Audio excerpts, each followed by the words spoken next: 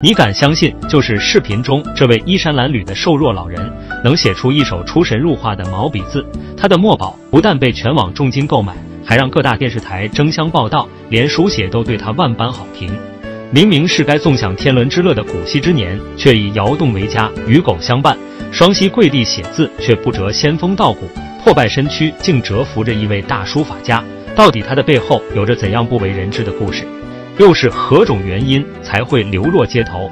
今天就让牛哥带大家走进跪写狂人樊老的书法人生。老爷子名叫樊吉广，今年七十二岁，甘肃庆阳人。老人儿时家庭条件优越，曾是知识分子，因满腹经纶，出口成章。年轻时还在乡村教了二十多年的书。三十八岁时，老伴癌症去世，老爷子至今未娶，他的人生轨迹也开始改变。离开学校后。老爷子因生活的各种变故，开始走上街头，给路人写毛笔字。如今流浪十二年，以窑洞为家。他爱抽烟喝酒，酒后不但满面春风能说会道，写的字更是行云洒脱，宛如神来之笔。网友称之为奇人。于是，在上海的繁华街头，一块空地上，一位瘦骨嶙峋的老人笔走游龙时，总能引来无数观众拍手叫绝。老爷子挥毫豪放不羁，字体自成一派，持笔变幻灵动游刃有余，笔锋刚劲有力，一波三折，仿佛在娓娓道来自己的人生故事。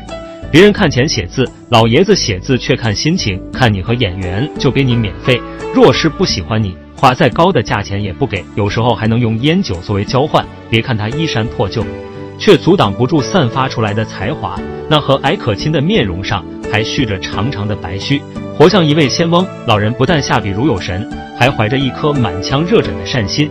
这次来到上海写字，是想挣钱把老家的学校装修一下。他写尽了人间沧桑，却写不尽自己的古道热肠。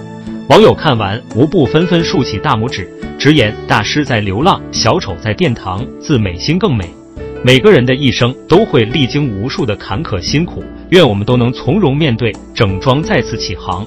你身边有像老爷子一样的高人吗？